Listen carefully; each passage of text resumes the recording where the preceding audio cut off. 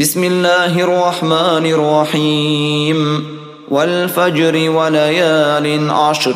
والشفع والوتر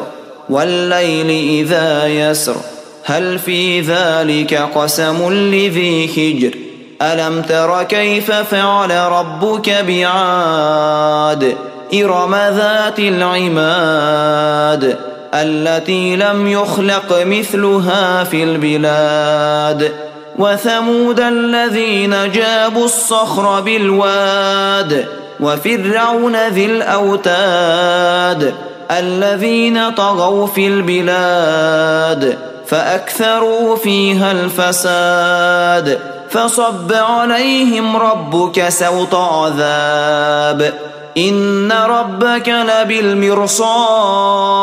فأما الإنسان إذا ما ابتلاه ربه فأكرمه ونعمه فيقول ربي أكرمن وأما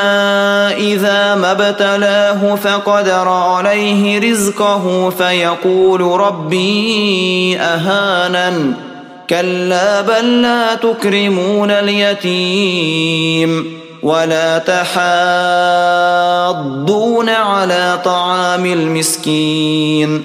وتأكلون التراث أكلا لما وتحبون المال حبا جما كلا إذا دكت الأرض دكا دكا وجاء ربك والملك صفا